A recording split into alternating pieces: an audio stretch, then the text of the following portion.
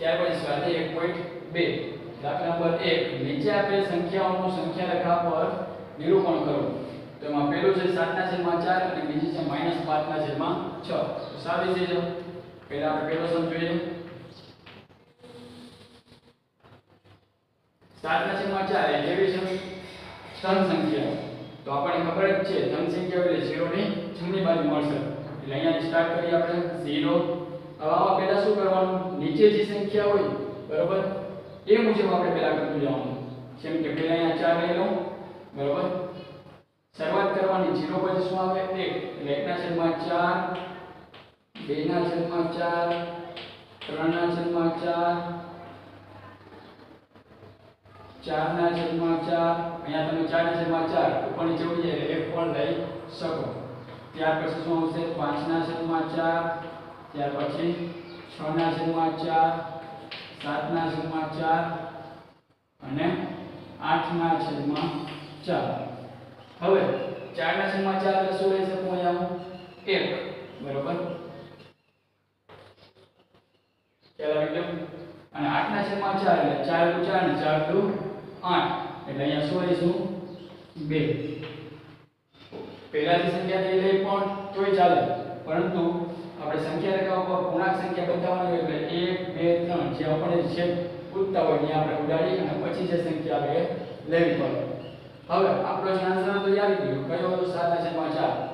તો જવાબ આવી જાય એટલે શું કરવાનું સર્કલ ખ્યાલ આવી ગયો હવે આપણે વાત કરીએ બીજો સમ છે માઈનસ પાંચ ના છેદમાં છ માઈનસ પાંચ ના છેદમાં છ એને કઈ રીતે દર્શાવશે આપણે છે એટલે 0 ની કઈ બાજુ આવે લેફ્ટ સાઈડ તો પહેલા આપણે અહીંયા 0 લઈ લઈએ હવે શું કરવાનું નીચેની સંખ્યા જોવાની અહીંયા કેટલા છે 6 તો આપણે નીચે પહેલા કઈ કઈ સંખ્યા લેશે 6 પછી 0 પછી ડાબી બાજુ શું આવે પહેલા 1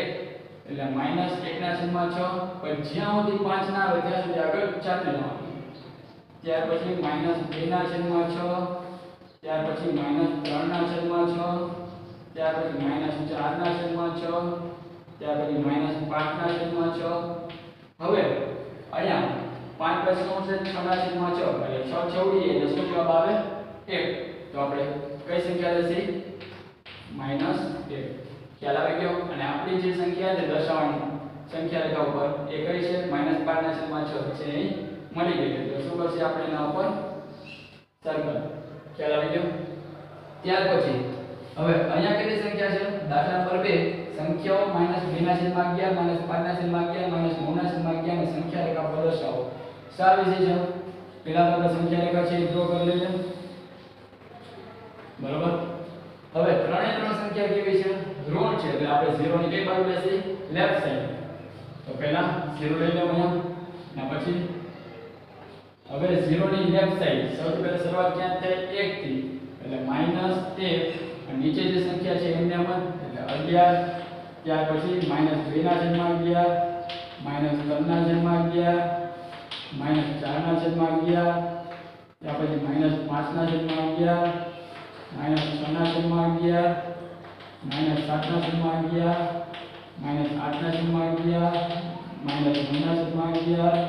માઈનસ 10 ના છેદમાં 11 હવે તમને ખબર જ છે આના પછી શું આવે 10 પછી 11 એટલે 11 ના છેદમાં 11 એટલે 11 11 કરતી જાય એટલે શું જવાબ આવે 1 એટલે શું હશે આપણે માઈનસ 1 હવે જે ત્રણ સંખ્યા હતી આપણે ક્વેશ્ચનમાં પૂછેલી હતી એ ત્રણ ત્રણ સંખ્યા કે જે સંખ્યા રેખા મળી જાય એટલે શું કરશે આપણે એના ઉપર સર્કલ એટલે માઈનસ 2 ના છેદમાં 11 ઉપર સર્કલ ત્યાર પછી માઈનસ 5 ના છેદમાં 11 ઉપર સર્કલ ત્યાર પછી માઈનસ 9 ના છેદમાં 11 એની ઉપર પણ સર્કલ ખ્યાલ આવી ગયો ત્યાર પછી નેક્સ્ટ સમ બેથી દાખલા ત્રણ, બેથી નાની હોય તેવી પાંચ સમય સંખ્યાઓ લખો. સાવ સરળ તમને ખબર જ છે, સમય સંખ્યા એટલે કેવી હોય? ઉપર નીચે હોય અને પૂર્ણાંક, અપૂર્ણાંક અને તટસ્થ ત્રણેય સંખ્યામાં આવી જાય. તો બેથી નાની હોય એવી કઈ થશે? બેથી નાની એટલે તો એક, પછી એનાથી નાની 0 ત્યાર પછી માઇનસ 1 માઇનસ 2 માઇનસ 3 કોઈ ફળે છે કોઈ સંખ્યા. આપણે કેટલી લીધી છે? પાંચ અંકી સંખ્યા 1 2 3 4 અને 5 મળીએ. ત્યાર પછી દાખલા નંબર 4 જોઈએ.